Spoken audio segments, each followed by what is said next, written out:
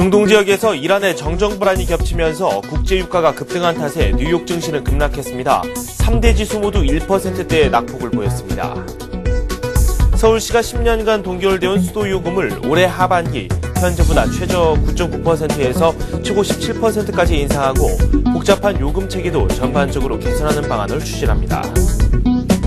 가계의 씀씀이가 커지면서 월 평균 200만 원 이상을 쓰는 집이 지난해 처음으로 절반을 넘어섰습니다. 100만 원도 채 쓰지 않는 가구의 비중은 10집 중 한 집 수준으로 줄었습니다. 중동과 북아프리카의 정세 불안으로 지난달 국제 유가가 급등하면서 두바이유 현물의 월 평균 거래 가격이 100달러를 넘었습니다. 2년 6개월 만에 최고치입니다. 네, 출발 센 증시 시작하도록 하겠습니다. 우리가 휴장한 가운데 열린 미국 증시와 유럽 증시는 하락세로 마감이 됐습니다. 뉴욕 증시의 급락세가 눈에 띄었는데요. 국제 유가의 급등세가 큰 영향력을 행사했습니다. 구체적인 내용 한번 살펴보도록 하겠습니다. 먼저 코스피부터 어, 지난장 월요일장 소식부터 종합해 보도록 하겠습니다. 지난 월요일 코스피 같은 경우는 1.2% 내리면서 마감이 됐었고요. 코스닥은 0.9% 내리면서 마감이 됐었죠. 어, 좀 부진한 장이었습니다. 해외 변수도 있었지만 이 국내에서도 키 리졸브 훈련에 따른 그런 정적에 대한 우려가 많이 나오고 있는 상황이었습니다. 급락세가 연출이 됐고요. 오르고 있는 업종을 찾기가 상당히 힘든 그런 하루였습니다. 아시아 지역 증시 살펴보도록 하겠습니다. 일본 증시 살펴보겠습니다. 1.2% 오르면서 마무리가 됐습니다. 어, 전날 미국 증시가 급등한 탓에 상승세로 마감이 됐지만 이 오늘장 음, 그러니까 어제 밤에 미국 증시가 급락했기 때문에 어, 이런 점도 좀 고려해둬야 되지 않을까라는 생각이 듭니다. 중국 증시는 0.4% 올랐습니다. 소폭의 오름세를 보였고요. 중국의 2월 PMI 지수가 좀 어, 좋지 않게 나왔습니다. 하지만 인플레이션 우려가 잦아들면서 이게 또 호재로 받아들이는 모습이었습니다. 대만 같은 경우는 1.4% 오르면서 마무리가 됐습니다. 미국 증시 3대 지수 살펴보도록 하겠습니다. 다우 지수를 비롯해서 S&P 500과 나스닥까지 모두 1%대 낙폭을 보였습니다. 어, 나스닥 같은 경우는 1.6% 내리면서 가장 많이 하락한 그런 업종 지수를 보여주었습니다. 네, 이렇게 해서 저희가 어, 지난밤 상황 한번 정리를 해봤습니다.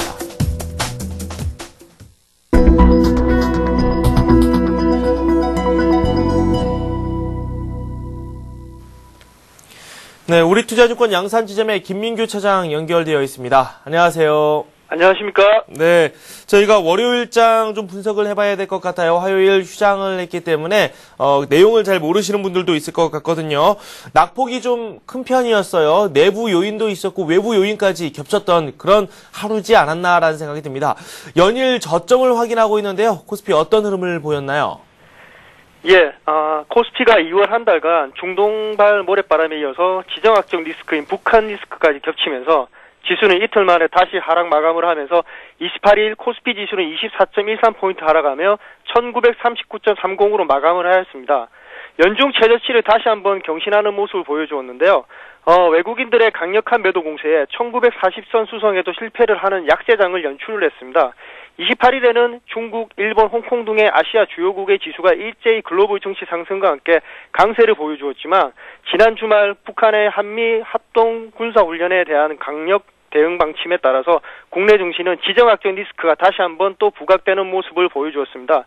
아무래도 지정학적 리스크에 민감한 외국인들의 매도에는 어, 글로벌 주가 시장의 상승 동조에 동참을 하지 못하는 모습을 보여주었습니다. 수급 동향을 한번 살펴보겠습니다. 어, 지난달, 지난 한 달 동안 일단 3조 원 넘게 외국인들의 매도세가 이어지고 있는데요. 외국인은 이날도 2234억 원을 순매도하면서 5거래일 연속 매도를 계속하였습니다. 반면에 기관은 2487억 원을 순매수를 했는데요. 개인도 474억 원의 매수를 하는 모습이었습니다. 프로그램을 통해서 차익 거래는 779억 원 매도, 비차익 거래에서는 역시 825억 매도에 매도를 하면서 어, 매도가 1,604억 원의 순매도가 이루어지는 모습이었고요. 거래량은 2억 560, 698만 주였고 거래 대금은 4조 5,845억 원이었습니다. 거래량과 거래 대금이 좀 한산한 모습이었는데요. 어, 선물의 모습에서도 조금 주의하셔서 보셔야 될 것 같은데요. 개인은 선물에서 파이자 공세를 일단 이어나가고 있는 모습이고 외국인은 현물과 선물 동시에 파이자 공세를 펼치고 있습니다. 이 같은 움직임이 시장 베이시스를 마이너스 0.3 부근에서 전후로 움직이고 있는 모습인데요. 이는 다시 프로그램 매도 물량을 쏟아내는 메커니즘을 만들어가는 모습을 보여주고 있습니다. 업종별로 한번 살펴보겠습니다. 어, 지난주에 반등 모습을 보여주었던 건설업종, 리비아 사태에 대한 정부 방침이 철수로 이야기가 나오면서 낙폭이 확대되어 가는 모습인데요. 금호산업, 대우건설이 6%대 하락을 보여주었고, 현대건설, 현대산업, 대림산업, GS건설 등도 3%대 낙폭을 보여주었습니다. 어, 유통과 화학, 어, 증권, 전기가스, 운수, 창고 업종은 2% 안팎에서 밀리는 모습을 보여주었습니다. 항공주 역시 지난주 반등을 다시 돌리는 모습을 보여주었는데요. 대한항공, 아시아나항공이 3에서 5%대로 내려앉는 모습을 보여주었습니다.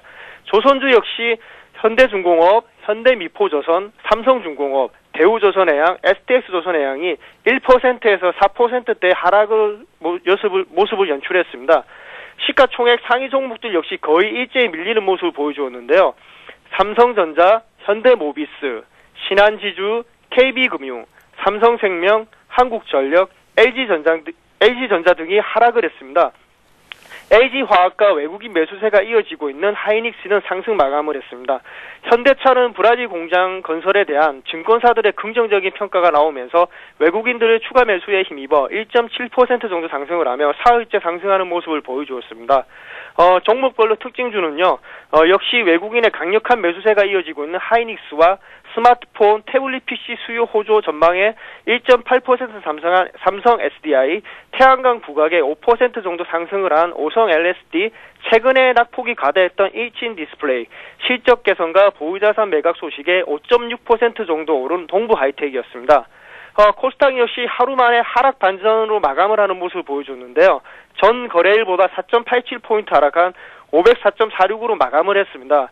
강보합장에서 오전 10시 이후에 외국인 매도가 나오면서 하락세를 계속 이어나가는 모습이었는데요. 수급은 개인이 248억 순매도, 외국인이 4억 매도, 기관이 252억 순매수를 하는 모습을 보여주었습니다. 거의 모든 업종이 약세를 보인 가운데 비철금속, 출판, 매체복제, 방송 서비스, 기타 제조만 소폭 상승을 하는 모습을 보여주었습니다. 시가총액 상위 주인, 상위 주인 서울 반도체, CJ오소핑, 다흠, 동서 등이 소폭 상승하는 모습을 보여주었고요. 상한가 종목 10개를 포함해서 319개 종목이 상승을 했고 하한가 14개 종목을 포함해서 638개 종목이 하락을 하는 모습을 보여주었습니다. 네. 내용을 쭉 살펴봤습니다. 건설업종의 낙폭이 상당히 컸습니다. 어, 항공주도 낙폭을 키웠고요. 어, 상황 자체가 좀 냉각된 듯한 그런 모습을 많이 보여주고 있습니다. 3월장이 개장이 됐는데 어, 또 어떤 변수들을 한번 잘 살펴봐야 될지 그 부분에 대한 말씀이 필요한 것 같습니다. 오늘의 변수 한번 살펴볼까요? 예, 오늘의 변수는 거시적으로 좀 큰 걸 두 개를 준비했는데요. 어, 일단 중동발 악재가 지금 계속적으로 나오고 있는 상태에서 회복이 되냐 안 되냐 여부 그리고 두 번째는 우리나라가 가지고 있는 지정학적 리스크인 북한발 리스크를 주목하셔야 될 것 같습니다. 어, 중동발 변수는 2월 한 달 동안 거의 우리 투자자들을 괴롭히고 있는 악재인데요. 어, 리비아 사태가 글로벌 시장의 동향을 보면 최근 모습은 어느 정도 회복을 시도하는 모습을 보여주었지만 전일장 미국, 유럽을 포함한 모든 그 글로벌 국가들이 하락을 하면서 어, 좀 어려운 모습을 연출하고 있는 상태입니다. 유럽 쪽에서 가다피 일가의 자산을 동결하고 있는데 어, 선진국들 역시 동조를 해서 사태 해결을 위해 힘을 쏟고 있는 모양새를 연출하고 있습니다.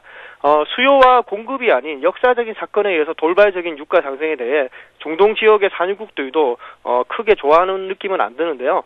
이번 중동 사태가 번지지 않기를 간절히 기원하고 있는 국가가 사우디인데 사우디를 비롯한 중동 국가들의 유가가 무작정 치솟는 것은 분명히 세계 경제 부담으로 느끼고 있습니다. 어, 그런 모습을 조합해서 본다면 리비아 사태가 단기적으로 해결은 분명히 힘들 거라고 예상이 되는데 이런 어느 정도의 소강 상태가 이어질 것이라는 게 일반적인 생각입니다. 하지만 그 어저께 카다피의 저항이 강력하게 나오면서 어, 그 지역에 폭격이 있었죠. 단기적으로는 계속적으로 어려운 장을 연출할 것이라는 생각은 듭니다. 어, 두 번째로 외국인 투자자의 지정학적 리스크 분류에 우리나라는 우리나라 증시는 첫 손에 꼽힙니다. 그래서 이번 한미 합동 군사 훈련에 따른 북한군의 도발적인 언급에 대해서 우리나라의 지정학적 리스크가 부담이 되고 있는 모습인데요. 우리나라 사람들은 사실상 북한의 언급에 대해서 솔직히 또 뭐 하는 짓이냐 생각할 만큼 담담한 모습인데 어, 외국인들이 느끼는 감정은 조금 다른 시각에서 느끼고 있다는 게 문제점입니다. 어, 그러므로 또 추가적으로 그런 북한의 발언이 나온다면 어, 어려운 중시에 분명히 더 큰 부담을 줄 것이라 생각이 들고요. 이러한 부담은 외국인들의 매도가 또 한 번 나올 수 있는 현상을 만들어줄 수도 있습니다. 그래서 어, 한 가지 더 붙이면요. 중국에서 이제 또 회의가 있습니다. 정치국 관련해서 회의가 있는데 네. 그쪽 관련해서도 좀 어, 안테나를 세우셔야 될 것 같아요. 왜냐하면 이제 내년에 어, 정권이 이제 교체가 됩니다. 북, 아, 그, 중국 같은 경우도 정권이 교체가 되는데, 최우선적으로 생각하는 게 양극화를 좀 차단을 하고, 두 번째는 인플레이션에 관련해서 좀 강력한 정책을 편다는 게, 어, 중국의 목표인데요. 그래서 아마 좀 안테나를 세우고 있어야 될 것 같습니다. 네, 변수 여러 가지를 말씀을 해주셨어요. 그 중에서 가장 귀에 잘 들었던 내용이 외국인들의 매도에 대한 말씀이었거든요. 외국인들 계속해서 매도를 하고 있습니다. 코스피 지금 화면을 보니까 음, 5거래일 연속 매도를 했거든요. 매도량이 점차 줄어들기는커녕 늘었다가 또 줄었다가 어, 계속해서 이런 양상 펼쳐지고 있습니다. 외국인 매도를 중심으로 해서 저희가 잘 살펴봐야 될 것 같은데 전략 어떻게 세울까요? 예, 오늘의 대응 전략은 음, 일단 첫 번째, 두 번째, 일단 첫 번째 외국인들의 매도 둔화 확인 후에 대응하는 것도 절대로 늦지 않으니까요. 외국인이 초반에 좀 제가 생각할 때 조금 정도는 매수를 할 거라고 생각이 듭니다. 이럴 때 무턱대고 매수를 하지 마시고요. 조금 더 기다리는 모습을 보여줘야 됩니다. 어, 수급 상황이 나쁜 상태에서 외국인들이 추가적인 매도를 계속적으로 한다면 장 자체를 조금 더 보수적인 관점으로 접근을 해야 된다고 생각이 듭니다. 네. 현재 상황에서는 어, 외국인이 급격히 갑자기 매도세에서 대량으로 매수하기는 힘들다는 것은 모든 사람들이 알고 있는데요. 그럼 소액이라도 외국인의 매수가 들어올 때 투자자분들이 가지고 있거나 어, 관심을 가지고 있는 종목들에 대해서 어, 외국인의 수급 사항을 꼭 한번 확인을 먼저 하시고 주식을 매입하는 것이 좋아 보입니다. 단지 업황 두 번째로 이제 얘기 드리고 싶은 거는 어, 되는 종목을 따라가야 된다는 게 제 생각인데요. 업황이 호황이 예상되는 업종에 대해서 눈을 맞추라는 말씀을 해드리고 싶어요. 어, 업황에 대한 호황이 예상되고 있는 IT 업종 어, 계속적으로 관심을 가지셔야 되는데 IT 업종 같은 경우에는 일본의 엔고 부담과 업황의 좋은 예측 흐름 음. 계속적으로 관심을 가져주시면서 IT 업종에 대한 포트를 혹시나 한 개라도 가지고 있지 않으신 분들은 하이닉스나 삼성전자 쪽으로 관심을 한 번쯤 가져주시면 좋을 것이라고 일단 생각이 되고요. 네, 네. 아, 한 가지 더 추가해서 말씀드리고 싶은 거는 시장이 정말 어려운 상황이기 때문에 개인 투자자분들은 현금을 최소한 30% 이상은 꼭 가지고 가실 거라고 어, 부탁을 꼭 드리고 싶습니다. 네, 현금 비중 강조를 해주셨어요. 30% 이상이라고 말씀을 해주셨으니까 이 점 참고로 하시는 것도 좋을 것 같네요. 어, 저희가 관심 종목을 좀 살펴보도록 하겠습니다. 지난번 연결 때 저희가 삼성 테크윈에 대한 공부를 좀 했었는데 삼성 테크윈 움직임이 어땠습니까? 예, 삼성 테크는 지금 뭐 아시다시피 중동 정세 불안으로 인해서 경기 회복 둔화에 대해서 우리 증시가 개체적으로 폭락장을 연출하고 있는데요. 어, 인텔의 칩센 결함으로 PC 판매가 급가가면서 주가 하락 요인으로 작용을 하고 있는 모습입니다. 근데 인텔이 1월 성능을 향상시킨 차세대 프로세스 샌디 브리지를 출시를 했지만 설계 오류가 이제 발견되면서 니콜에 들어갔는데요. 그 여파로 인해서 지난달 PC 판매가 거의 이루어지지 않았습니다. 그런데 지난주부터 오류를 수정한 칩셋 공급이 일단 재개가 됐는데요. 따라서 PC 판매도 늘어날 것으로 보입니다. 그래서 해외 반도체 업체의 주가가 반등을 하고 있어서 국내 IT주에도 관심을 가져야 될 것 같습니다. 어, 지금 삼성테크인 보시면 일단 기술적으로 추가 반등이 가능한 구간에 일단 와 있는데요. 어, 8만 원대에서 저는 계속적으로 매입을 하시라고 꾸준히 지금 추천을 드리고 있는 상태인데요. 음, 지금 보시면 일단 8만 원 밑으로 내려와 있는 상태입니다. 근데 거래량을 보시면 거래량이 그렇게 많이 늘지는 않았고요. 그렇다고 해서 신용장구가 늘어나는 상황도 아니에요. 예, 스토캐스틱도 지금 밑에서 바닥을 다지고 있는 상황이기 때문에 섣불리 여기서 매도를 치시는 것보다는 조금 더 기다리시면서 저희가 목표했던 가격에 조금씩 눈을 맞추면서 가시면 어, 크게 어려운 문제는 없을 것 같습니다. 네, 알겠습니다. 삼성 테크윈 살펴봤고요. 어, 오늘의 관심 종목 어떤 종목인지 살펴볼까요? 예, 오늘 추천 종목 폭락장에서 어떤 종목을 추천해야 될지 정말 고민 많이 했었는데요. 네네. 어, 일단 탑 엔지니어링을 추천을 했습니다. 탑 엔지니어링이요. 예. 어, 투자 포인트로는 세 가지 정도로 들 수 있는데요. 어, 일단 첫 번째는 LG 디스플레이의 8세대 LCD 공장 P9 구축이 되겠습니다. 어, 주요 고객사인 LG 디스플레이의 8세대 LCD 공장 P9 구축을 위한 장비 발주가 일단 임박에 있는 상태인데요. P9 관련 장비 수주가 600억대에 달할 것으로 일단 전망이 되고 있습니다. 2011년 신규 수주는 한 1,800억 규모로 사상 최대를 기록할 것으로 일단 어, 기대가 되고 있는 상태고요. 어, 두 번째로 자회사 파워로직스의 호실적입니다. 음, 지금 보시면 어, 자회사 파워로직스가 주요 제품인 모바일 기기용 PCM, SM 판매 증가로 인해서 2010년도 4분기 호실적을 기록해 향후 탑 엔지니어링의 지분 평가 이익이 어, 연간 60억 이상 기록될 것으로 생각이 되고 있습니다.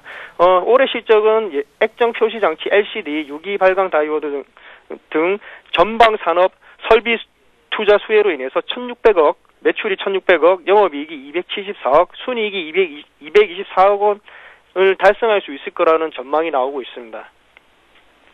네, 어, 저희가 탑 엔지니어링 살펴봤습니다. 이 기술적인 내용을 좀 더 살펴보도록 하겠습니다. 탑 엔지니어링 이 목표가에 대한 설명을 좀 부탁드려도 될까요? 예. 어, 탑 엔지니어링 지금 가격을 보시면요. 어저께 마감을 했는 게 9,800원에 마감을 했습니다. 그래서 네네. 오늘 장중에 초반에는 저도 일단 밀릴 거라고 생각을 하고 있는데요. 급하게 매수를 하지 마시고요. 좀 장중 12시까지 정도는 기다려 보시면서 가격을 좀 맞춰 보시는 게 좋을 것 같습니다. 들어가실 때도 어, 금액 모두를 올인하는 것보다는 금액의 10%, 15%, 20% 정도 나누어서 장기적 관점에서 조금씩 매수를 하시는 게 좋을 것 같고요. 어, 매수 가격은 오늘 가격은 9,300원 정도를 제시를 하고 있는데요. 9,300원에서 9,500원 정도 가격을 오면 매수를 하셔도 될 것 같고요. 어, 1차 수익으로 생각하는 구간이 11,000원 구간입니다. 음. 어, 사실상 신고가를 뚫고 올라가야지 11,000원 가격이 나오는데요. 일단 최고가가 1,700원에서 어, 주봉으로 보시면 세 번 정도가 밀렸습니다. 밀려서 세 번 밀리면서도 어, 거래량이 수반되면서 올리고 있기 때문에 신고가를 돌파하는 거는 그렇게 어려워 보이지는 않은 상황으로 생각이 되고요. 2차 수익으로 생각을 하는 게 만약에 11,000원대에서 가격을 다질 수 있다면 13,000원까지 가, 가, 가는데도 그렇게 이 회사가 가지고 있는 기본적 가치를 보면 어렵지 않다고 생각이 듭니다. 그래서 2차 수익은 13,000원 정도 가격을 제시하고요.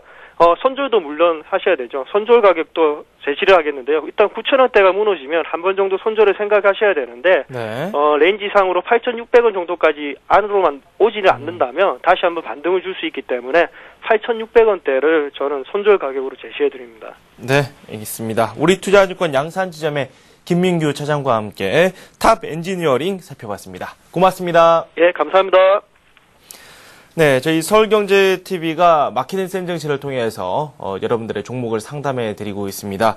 어, 문자를 보내셔도 되고요, 전화를 주셔도 됩니다. 어, 잠시 후 1시간 후에 저희가 상담에 바로 들어가는데요. 어, 지금부터 문자 접수를 받도록 하겠습니다. 문자 메시지는 013-3366-0110번으로 보내주시면 됩니다. 문자 보내실 때는 종목명, 그리고 매수 가격, 비중 이런 정보 넣어주시면 되고요. 오늘 좀 주식시장이 불안해서 하락을 한다. 그럴 경우에는 이 종목 한번 매수해보고 싶다. 그런 종목이 있으시면 저희에게 이 종목 어떻나요? 라고 질문을 보내주시면 되겠습니다. 그에 대한 상담을 저희가 해드리도록 하겠습니다. 전화도 열어놓고 있습니다. 두 대의 전화인데요. 서울 전화입니다. 3153-2611, 2619번입니다.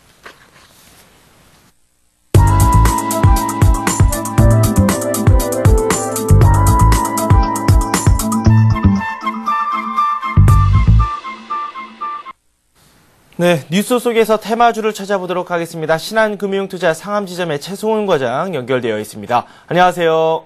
예, 안녕하십니까. 저희가 자동차 부품주들 살펴봤었죠. 성창 에어텍도 봤고 SL 이 두 종목에 대해서 이야기를 지난번에 한번 나눠봤었는데 주가 흐름은 어땠습니까? 좋았습니까? 예, 일단 SL과 성창이어텍 두 종목 모두 뭐, 저, 그, 월요일 날 낙폭에 비하면은 뭐, 그래도 양호한 흐름을 나타냈다고 보셔도 될 거는 같습니다. 일단, 뭐, 도요타 리콜이라든가 현대 기아차의 해외 시장 적극적인 공략, 그리고 일본 자동차 부품업체의 그 국내 부품 시장에 대한 그 매수 규모의 확대 이런 것이 큰 호재로 좀 작용을 해서 뭐 나름대로는 뭐 크게 뭐 상승폭은 느리지는 못했지만은 일단은 양호한 흐름을 보였, 보였습니다. 또한 오늘 같은 경우는 제네바에서 또 모터쇼가 개막을 하게 되면은 오히려 자동차와 자동차 부품 업체들로는 꾸준히 그래도 관심권에 둘 만한 이슈가 살아있기 때문에 여전히 두 종목 모두 매수권에서 접근을 하셔도 크게 무리가 없는 구간이라고 생각이 되고 어, 요즘같이 불확실한 상황, 시장 상황을 감안을 했을 때 그 정도 재료로서는 충분히 매수할 만한 여력이 된다고 생각하셔도 될 것이라고 생각이 됩니다. 네, SL 그리고 성창이어텍 두 종목 모두 뭐 매수가에 대해서는 아주 긍정적인 말씀을 해주셨는데 목표가에는 변화가 없이 그대로 가져가는 게 나을까요? 예, 목표가는 두 종목 모두 한 1, 20% 정도대의 가격권에서는 충분히 가능할 것으로 생각을 하고 있습니다. 네, 알겠습니다. AS를 좀 해드렸고요. 오늘의 뉴스 한번 살펴보죠. 예, 오늘은 AM OLED 관련 뉴스를 말씀을 드리겠는데요. 네. 지난주에 삼성 모바일 디스플레이가 중국에서 AM OLED, AMOLED, AMOLED 모듈 생산량을 늘린다라고 발표를 했습니다. 뭐 5.5세대의 수요가 좀 많이 증가를 하고 있고 국내 시장이나 중국 시장에서도 업체들이 많은 물량을 요구를 하면서 중국 쪽에 있는 모듈 LCD 모듈과 AM OLED 모듈 모두 증설할 계획을 발표를 했습니다. 또한 오늘 같은 경우에서도 신문 기사로서는 뭐 소니하고 노키아에서 삼, 노키아에서도 뭐 삼성 AM 아 삼성이 아닌 삼성에서 생산 중인 AMOLED를 많이 채택을 하고 있다. 그래서 향후에 당분간의 디스플레이 시장은 AMOLED가 좀 주도할 가능성이 크고 그 중 대부분을 생산을 하고 있는 삼성 아몰레드 관련해서는 관련주들을 좀 꾸준히 지켜봐야 될 것으로 생각이 됩니다. 뭐 관련 종목으로는 AP 시스템, SMU, 덕산 하이메탈, 동아일텍 등을 좀 관심 있게 보셔야 될 것 같습니다. 네, 관련 종목 말씀을 해주셨는데 저희도 어, 참 많이 살펴왔었던 그런 종목들이 포함되어 있습니다. 기업 내용에 있어서는 익숙한 종목들이 상당히 많은데 오늘 살펴볼 종목 한번 추려봐야 되겠죠. 첫 번째 종목 살펴보죠. 예, 일단 대표적으로 요즘에 좀 강한 모습을 보여주고 있는 AP 시스템을 뭐 다시 말씀을 드리겠는데요. 네, 역시 AP 시스템 같은 경우는 뭐 아몰레드의 핵심 장비, 증착 장비를 지금 현재 국산화하고 있는데 삼성 쪽에서도 긍정적으로 검토를 하고 있기 때문에 뭐 증착 장비 납품이 이루어지게 된다면은 본격적으로 회사는 좀 성장 가도를 달릴 가능성이 좀 큰 상태고요.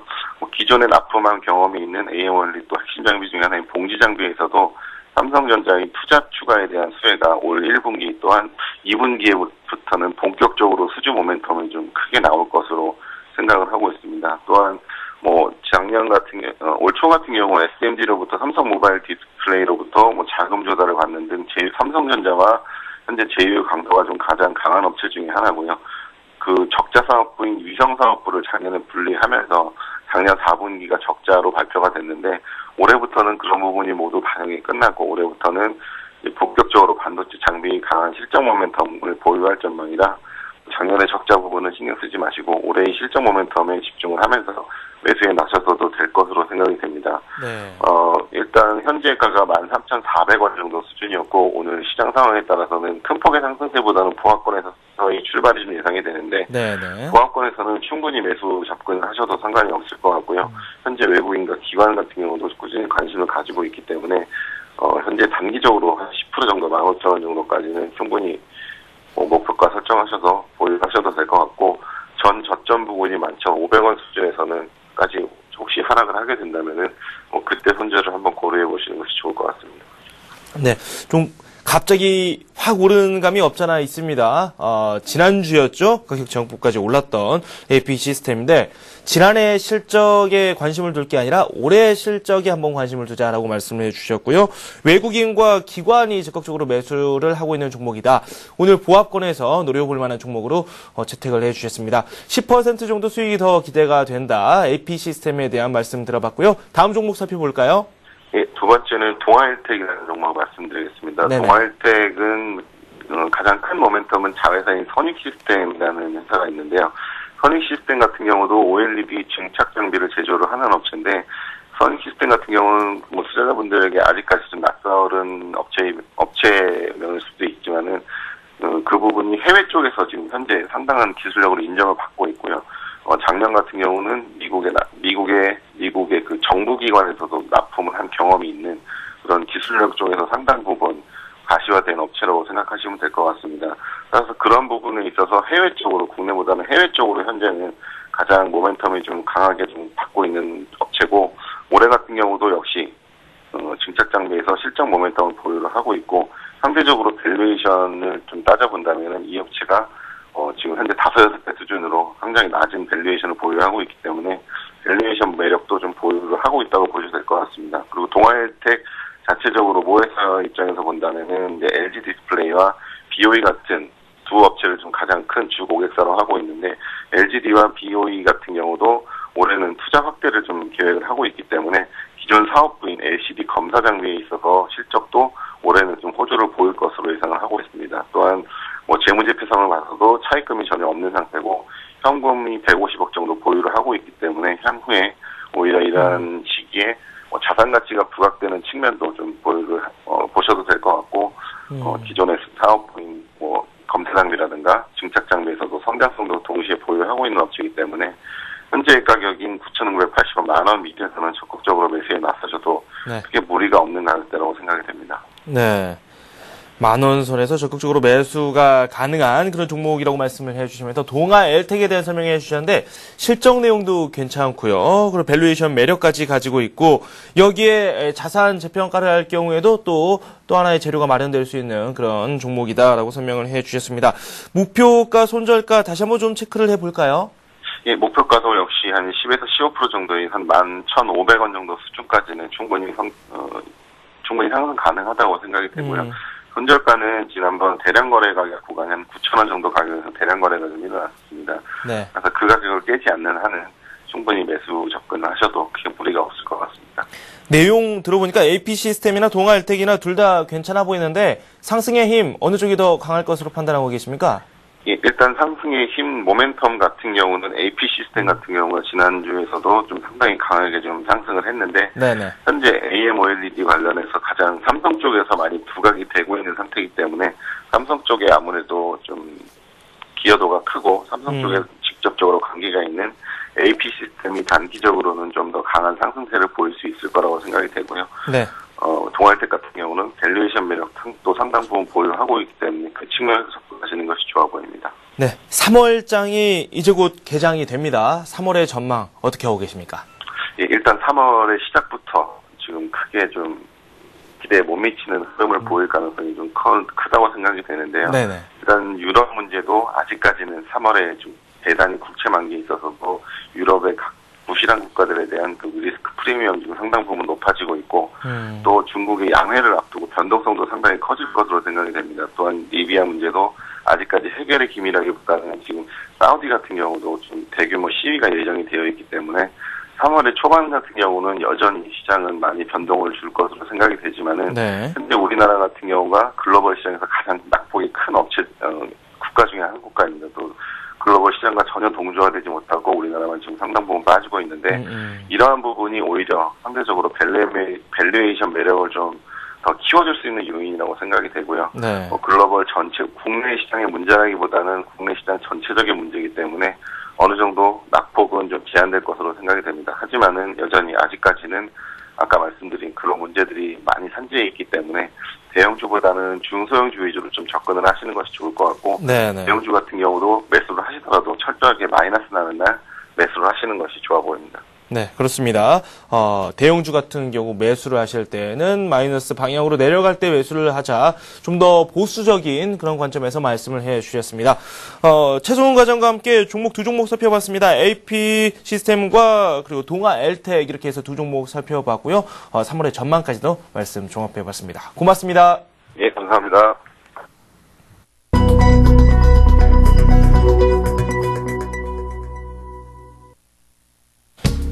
네, 우리 시장 개장을 앞두고 있는데 시장 분위기 자체가 조금은 냉각된 채 출발이 예상됩니다. 동시효과 상황을 제가 잠시 살펴봤는데 파란불이 들어와 있는 그런 종목들이 상당히 많았고요. 코스피 같은 경우도 1% 정도 밀리면서 출발할 것으로 예상이 됐습니다. 이제 막 장이 시작됐는데요. 시가총액 상위 종목군들 어떤 움직임을 보이고 있는지 자세히 살펴보도록 하겠습니다. 네, 먼저 코스피입니다. 삼성전자가 1% 정도 밀리면서 오늘장 출발을 했습니다. 코스코 역시 0.6% 하락하고 있고요. 현대차가 1.4% 밀리면서 상당히 부진한 모습으로 출발을 하고 있습니다. 건설업종들도 상당히 부진했었죠. 건설업종에 대한 이야기 잠시 후에 한번 자세히 살펴보도록 하겠습니다. 어, 현대중공업은 2.7% 정도 밀리고 있습니다. 현대모비스 0.9%, LG화학이 1.8% 하락하고 있습니다. 기아차는 0.5% 정도 반등을 하면서 시총 10위권 종목 중에서 유일하게 상승을 하고 있고요. 어, 신한지주와 KB금융 약세입니다. 삼성생명, 한국전력, 하이닉스까지 나란히 부진한 모습을 보이고 있고요. SK이노베이션이 0.8% 내리고 있는데 어, 유가 관련주, 어, 그러니까 화학 관련주들 같은 경우는 정부가 가격 통제에 나설 수도 있다. 이런 이야기가 들려오고 있습니다. 그에 따른 영향으로 정유주를 중심으로 해서 급락세가 펼쳐지고 있고요. 오늘도 그 여파가 이어지고 있습니다. LG전자는 1.8% 내리고 있는데 급락세를 멈추지 않고 있네요. LG전자가 지난 월요일에 5.1% 정도 급락하면서 시장을 깜짝 놀라게 했습니다. 오늘도 이어지고 있고 2% 가까이 밀리고 있습니다. SK텔레콤 그리고 LG 디스플레이 나란히 약세고요. 보합으로 간신히 전환이 됐죠. S-Oil은 0.4% 오르면서 지금 반등에 성공하는 모습입니다. SK 이노베이션과는 약간 다른 흐름을 보여주고 있습니다. 아, 지금 말씀드린 대로 SK 이노베이션 부진한 모습을 보이다가 낙폭을 조금씩 축소하는 모습입니다. 롯데쇼핑은 1% 밀리고 있고요. 현대제철은 큰 변화가 없습니다. 삼성화재 비슷한 모습이고요. 우리금융 삼성물산 약세입니다. KT, 호남석유, 삼성전기, 하나금융주도 부진한 흐름을 보여주고 있고요. 특히 하나금융지주 같은 경우는 외환은행 인수가 조금은 지연될 수도 있다. 이런 우려가 제기되고 있습니다. 신세계 반등에 성공하는 모습인데 끝까지 잘 지켜봐야 될 것 같습니다. 지난 월요일에도 급등세를 펼쳐 나가다가 하락 전환을 했습니다. 오늘도 1.6% 초반에는 오르고 있는데 이 추세가 잘 이어질지 방심의 끈을 놓아서는 안 될 것 같습니다. 기업은행은 0.3% 하락하고 있습니다. 코스피가 저점을 계속해서 낮추고 있습니다. 1926 가리키고 있습니다. 코스닥 쪽 살펴보도록 하겠습니다. 서울 반도체가 0.5% 오르고 있는데 서울 반도체 비롯해서 LED 업체들이 앞으로 이익 성장에 대한 기대감이 상당히 높습니다. 이에 대한 영향 그대로 오늘도 미치고 있습니다. 셀트리온은 0.6% 정도 오르고 있고요. CJ오쇼핑 그리고 SK 브로드밴드 다음 SFA 메가스터디 포스코 ICT OCI 머티리얼즈까지 나란히 하락하고 있습니다. 동서는 강보합이고요. 네오위즈 게임즈는 실적에 대한 기대감이 상당히 큽니다. 지난 월요일에도 상승세를 지속했었고요. 오늘은 좀 차익 실현 매물이 나오고 있습니다. 3% 가까이 밀리고 있습니다. GS 홈쇼핑 1.2% 내리고 있고요. 멜파스가 급등세인데요. 멜파스가 이 터치, 터치 스크린 시장에서 어, 향후 실적 상당히 급성장할 수도 있다. 이런 전망을 얻고 있습니다. 이에 따른 영향으로 어, 상당한 폭의 상승세를 보이고 있고요. 태웅은 2% 정도 상승 중에 있습니다. 차 바이오엔이 1.3% 내리고 있습니다. 미국에서 배아줄기 세포 관련해서 특허를 취득했다는 소식에 상승세를 보였던 차 바이오엔 차익 매물이 나오고 있습니다. 아토는 1.2% 내리고 있고요. 실리코너스와 덕사나이메탈 나란히 상승 중입니다. LED 관련주 강세죠. 주성 엔지니어링과 아래쪽에 있는 성화이텍 1.2% 내리고 있습니다. SK컴즈는 0.4% 하락하고 있고요. 테크노세미캠 소폭이 오름세, 성용광전투자 1.4% 오르고 있습니다. 잘 지켜보셔야 될 게 있습니다. 유가가 급등하면서 어, 대체 에너지 관련 주술 좋은 흐름을 보이고 있습니다. 성용 광전 투자가 대표적인 모습이다. 이렇게 해석이 가능합니다. 하나투어는 1.7% 내리고 있고요. 이오 테크닉스, 성광밴드, 그리고 네페스 약보합권에 머무르고 있습니다. 코스닥 같은 경우는 503 가리키고 있습니다. 500선 다시 한번 위협받고 있습니다. 코스피는 1930선이 깨졌다가 이제 막 회복이 되고 있습니다. 양시장 상당히 불안한데요. 지금까지 시가총액 상위 종목 분별로 출발 상황 살펴봤습니다. 현대증권 투자 컨설팅 센터의 배성영 수석연구원 연결되어 있습니다. 안녕하세요. 네, 안녕하세요. 네, 약세입니다. 초반부터 좀 흐름 자체가 좋지 않은데요. 어떻게 봐야 될까요? 3월 첫날부터 좀 부진한 흐름인데 어, 시장에서 지켜봐야 할 내용 어떤 것들이 있는지 한번 소개를 해주십시오. 예, 일단은 현재 시장의 흐름이 어 2월 말 121선 이탈 이후에 어 약세 흐름이 계속되고 있는 상황인데요. 어 현재 기술적으로 볼 때는 어 글로벌 증시가 상승이 시작된 어 실발 출발 시점이 약 9월 초였습니다. 그래서 9월 초어 미국발 WD 무료가 제거된 이후에 글로벌 증시가 동반적인 상승을 보였는데 어 그러한 상승에 현재 1920선은 상승폭의 약 절반 수준을 어, 되돌리는 그런 가격 조정이 진행되고 있다라고 보시면 될 것 같습니다. 어, 전반적으로 어, 가격 조정이 상당 부분 진행되었다라는 판단이 될 수가 있겠고요. 어, 전일 미국 증시도 역시 다소 큰 폭의 하락을 어, 하락을 보였지만 ISM 제조업 지수가 여전히 견고한 어, 상승세를 보였고요. 추가적으로 버냉키 의장의 어, 최근 유가 불안은 어, 일시적인 어, 단기적인 인플레 압력 요인에 그칠 것이다라는 언급이 있었고 어, 추가적으로 어제의 미국 시장 하락은 어, 다분히 유가 불안에 따른 투자 심리 악화라는 측면이 일단은 강하기 때문에 일단 추가적인 가격 조정보다는 오히려 반등을 어, 기대해 볼 수 있는 시장 어, 시- 시점이라고 보시면 될 것 같습니다.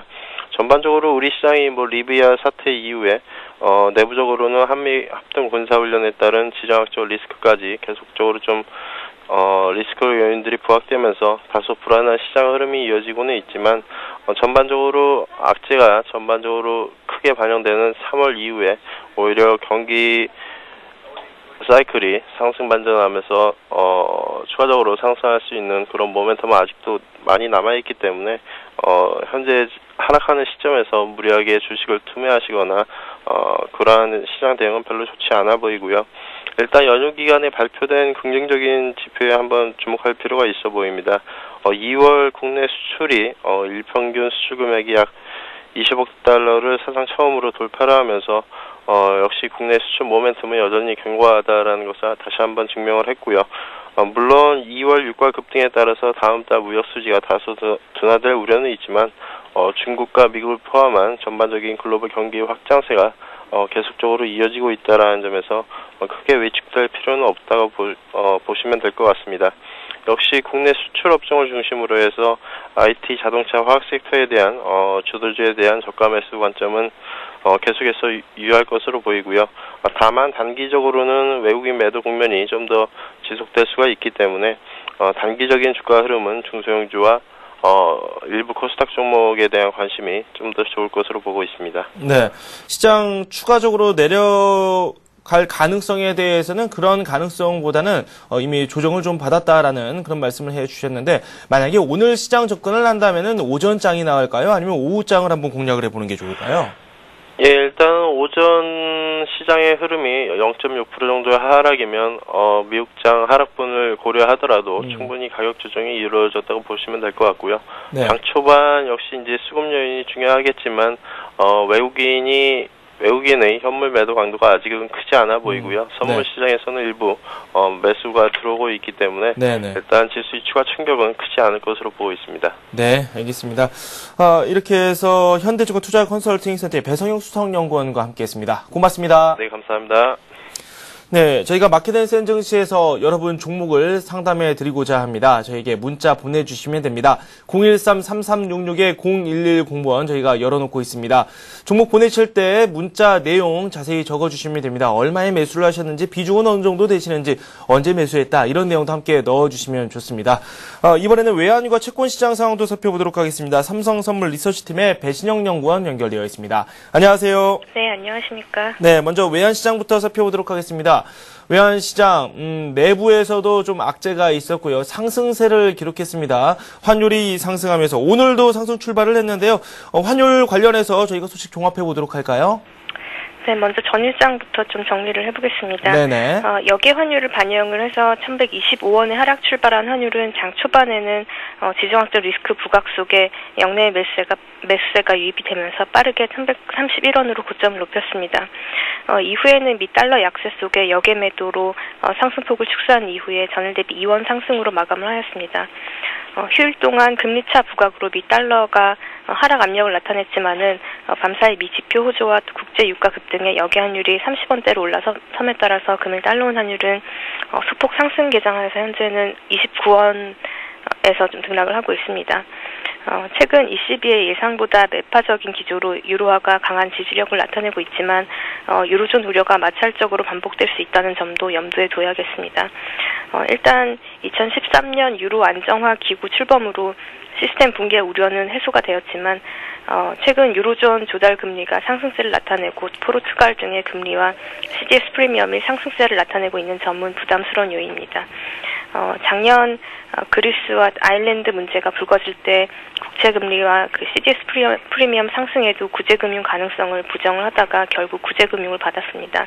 어, 특히 3월 남유럽 국가들의 국채 만기가 집중이 되어 있어서 문제가 재부각될 가능성이 커 보이고 어, 특히 포르투갈과 스페인이 주목이 됩니다. 어, 리비아 사태에 대한 우려가 지속되고 있는 가운데 어, 유가도 강한 지지력을 나타내고 있어서 달러원 환율에 어, 1120원 부근에서의 하방 경직성이 유지되고 있습니다.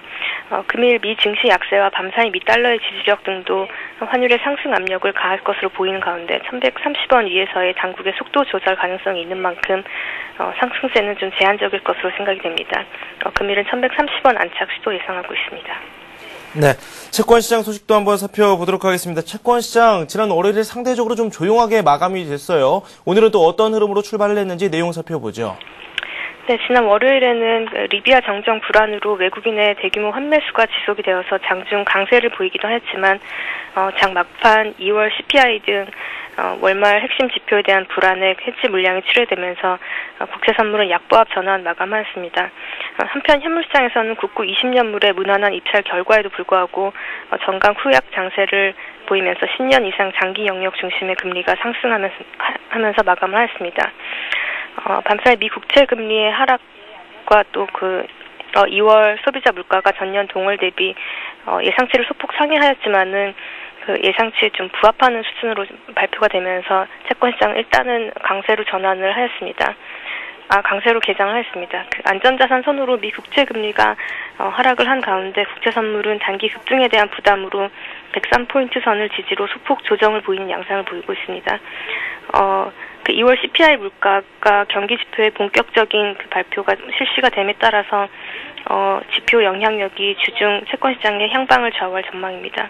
그 2월 CPI는 전년 동월 대비 4.5%로 어, 예상치는 4.4%였는데 예상치를 좀 소폭 상회를 하였습니다. 어, 물가 목표 범위 상단을 2개월 연속 돌파를 함에 따라서 다음 주 예정된 3월 금통위에서의 어, 긴축 압력으로 작용을 할 수가 있겠습니다. 반면 중동 지역 정정 불안이 해결될 기미를 보이지 않으면서 국제 유가의 상승세가 재개가 되고 있어서 어, 인플레이션보다는 더빌드에 대한 우려가 채권 시장에는 좀 우호적으로 작용할 수 있으며 이에 따라서 금리 반등 시에도 상단은 제한적일 것으로 생각이 됩니다. 어, 그 2월 말씀드렸다시피 2월 소비자 물가가 예상치를 크게 벗어나지 않는 수준으로 아, 발표가 되면서 3월 금통위에 대한 전망도 좀 다소 엇갈리고 있습니다. 3월 기준금리가 동결이 되더라도 3년물 금리가 3.7에서 3.75%대를 하향하기는 어렵다고 보는 의견과 또 기준금리가 인상되어도 향후 추가 인상까지 어, 시간적인 여유가 있다는 점이, 점이 부각이 되면서 금리는 반락 가능성이 있어 보입니다. 어, 시장 참가자들의 이러한 그 인식을 감안을 해서 어, 뭐 금리는 추가 강세 시에도 좀 어, 제한적일 것으로 강세 강세 폭은 좀 제한적일 것으로 생각이 됩니다. 네. 배신영 연구원과 함께했습니다. 고맙습니다. 네, 감사합니다. 전문가 포트폴리오 살펴보겠습니다.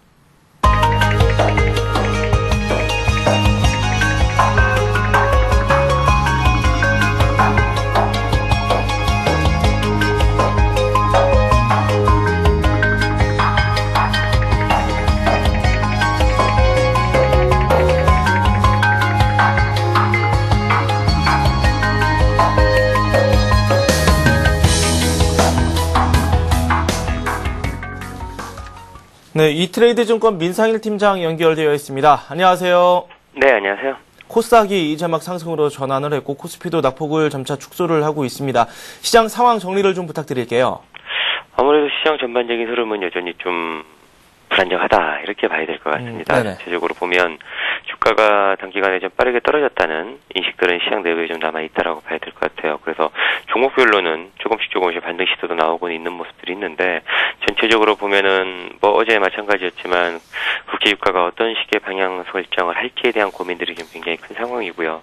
특히 리비아를 넘어서서 다른 나라들로 확장될 수 있다는 불안감들이 열리는 상태이기 때문에 음. 지금 시장이 상승적으로 뚜렷하게 방향을 잡고 나가기는 아무래도 좀 어려울 것이다라고 보고 있습니다. 그래서 네. 가격에 대한 기대치들 이런 부분에 대해서는 종목별로 좀 기대감을 갖고서 일정 부분 반등 시도를 보이는 종목들도 나타는 나겠지만 시장 전반적으로 상승 흐름이 빠르게 진행되기는 아직은 투자 심리가 취약하다 이렇게 정리해 볼 수 있을 것 같아요. 네. 아직은 좀 투자 심리가 좋지 않다라는 말씀을 해 주셨는데, 참 거래를 하기도 상당히 어려운 장이고요. 오늘과 같은 장 접근하기에 좀 까다롭다. 이렇게 또 해석이 가능한 부분이 아닐까라는 생각이 드는데, 어떻게 생각하세요? 오늘 장 시장 참여 좀 지켜보는 게 나을까요? 아니면 좀 코스피 이렇게 좀 약간 밀리고 있을 때 대형주 중심으로 한번 접근을 해보는 게 좋을까요? 아직 적극적인 부분들은 조금 부담스럽다 이렇게 음. 보고 있습니다. 저는 추가로 좀 밀릴 수 있는 부분들도 좀 3월 중에는 봐야 되는데 뭐 음. 말씀하셨던 것처럼 오늘 하루 어떠냐라고 놓고 보면은 반등 시도는 나올 수 있을 것 같아요. 음. 그래서 반등의 폭이 그렇게 크지는 않을 거기 때문에 아직 시장에 적극적으로 대응하기 좀 어렵다라고 보고 있고요. 종목을 찾는 것도 그렇습니다. 오늘 뭐 자동차주들 그래도 좀 괜찮은 형태 모양을 보여주고 있는데 뭐 많이 빠졌기 때문에 올라갈 수 있는 부분들도 있다라고 봐야 될 것 같아요. 근데 그 이상 얼마만큼의 이제 흐름을 보여줄까라고 보면 결국 지금 하나로 쭉 모아지는 거는 그런 것 같습니다. 지금 현재 시장을 압박하고 있는 어, 인플레에 대한 부담감들이 유가로 확장이 되면서 이게 상반기를 더 옥죄일 수 있다는 걱정들이 많은 건데, 이제 그러다 보면 업종별로 거기에서 자유로운 업종들이 거의 나타나기가 좀 어려운 부분들이 있거든요. 그런 속에서 시장을 바라봐야 되기 때문에 지금은 좀 강하게 아니면 너무 긍정적으로 접근한다기보다는 정말 많이 빠진 종목들 단기 매매 정도 해본다라는 생각은 정도에서 좀 머무르시는 게 유리한 투자 선택이 아닌가 이렇게 판단을 하고 있습니다. 네. 어, 이렇게 해서 민상일 팀장과 함께 시장을 한번 읽어봤습니다. 고맙습니다. 네, 고맙습니다. 코스피 잠시 살펴보도록 하겠습니다. 0.2% 내리고 있습니다. 말씀드린 대로 낙폭을 좀 축소했습니다. 민상일 팀장께서는 일시적인 반등이 나올 수도 있지만 어, 너무 방심해서는 안 된다. 이런 취지의 말씀을 해주셨습니다. 코스닥은 0.3% 정도 오르고 있습니다. 500선 아직까지는 지지를 받고 있습니다. 환율 같은 경우는 보합권에서 움직이고 있습니다. 큰 움직임이 나타나지는 않고 있고요. 1128원대에 거래가 되고 있습니다. 어, 예고를 해드렸습니다. 저희가 마켓앤센 증시에서 여러분께서 가지고 계신 종목 상담을 해드립니다. 지금 뭐 문자 들어온 내용 보니까 이스트아시아 스포츠를 비롯해서 조화제약, 대림산업 등등 많은 종목들이 올라와 있습니다. 어, 저에게 문자 보내주시면 저희가 상담을 해드리도록 하겠습니다. 013-3366-0110번입니다. 잠시 후 다시 저는 돌아오도록 하겠습니다.